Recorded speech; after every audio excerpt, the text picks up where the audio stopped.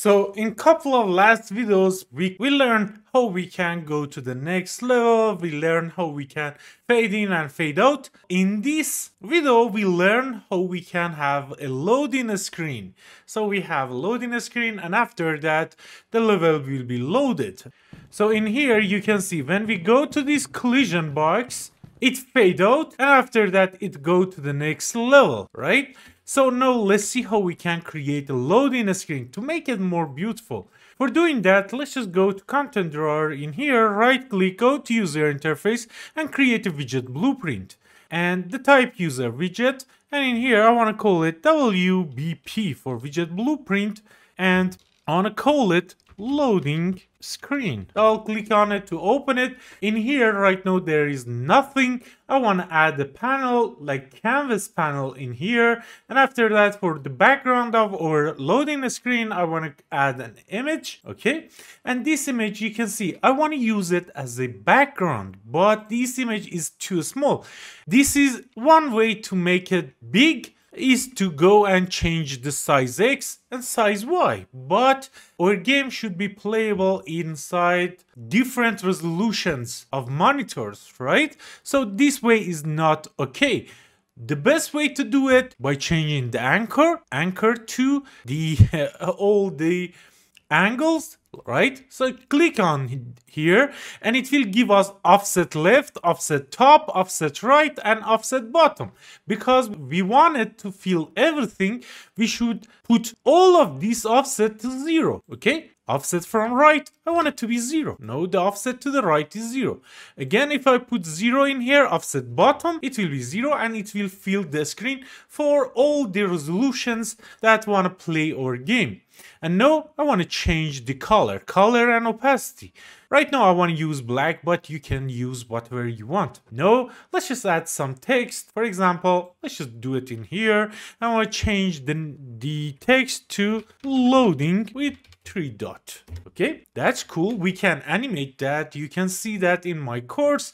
Animating this stuff is really easy, right? Maybe we should change the size as well. So for changing the size, we should go to font and change the size, for example, to 30 or maybe 50. Okay, that's good. I think the position is good as well. Now we can add some other stuff. If you go down to, let me see, the primitive, the circle throbber in here, throbber, I think. We can just put it in here as a loading and we can add another image. For example, let me find the image at top put another image in here. This time I want to put this image at the middle, okay? So for putting an image at the middle in canvas panel, again, we can use the anchors in here. So click on the anchors and put the middle and after that change the position to 0 and 0, okay? Now you can see it anchored to the top left of our image. We want it to be at middle, so we should change the alignment to 0.5. Again, if you want to learn about these alignment, these sizes and all of that, just you can watch it in my course. I did talk about all of these. So now let's just change the image in here okay? So for doing that you should go to the brush and in here you can choose image. For example gears of war image. Right now it is too small so let's just add a zero to both of these like this.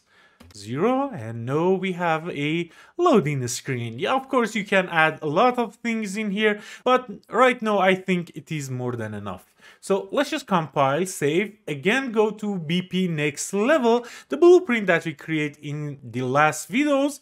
So now in here, after we fade it and we wait until if it faded out, we can create this widget, create this widget that we create, create widget, and the widget that we want to create is loading screen, okay? And after that, we want to add this widget to viewport, right? Add the widget to viewport, this widget. So it will be added to viewport and we want it to stay for, for example, two seconds. So we add a two second delay in here. Let's just put two in here for two second delay. And after that, it go to the next level. Let's just again compile, save and run our game.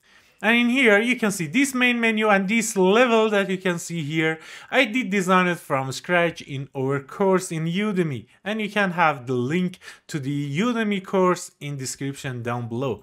Let's just hit play now. And you see, if I go to this collision box, first of all, it fade out. And after that, it will go to loading screen. And after that, it will go to the next level. That was it for this video, how you can create a loading screen.